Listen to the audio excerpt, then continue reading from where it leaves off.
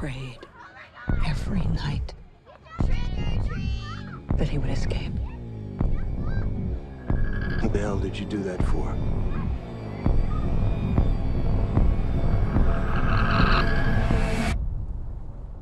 So I can kill him. I personally find him terrifying from the first time I was introduced to Michael Myers to even now on this set.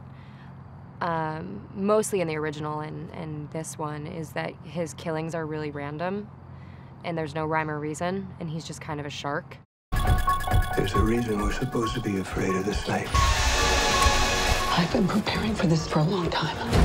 It is not safe to be on the street tonight.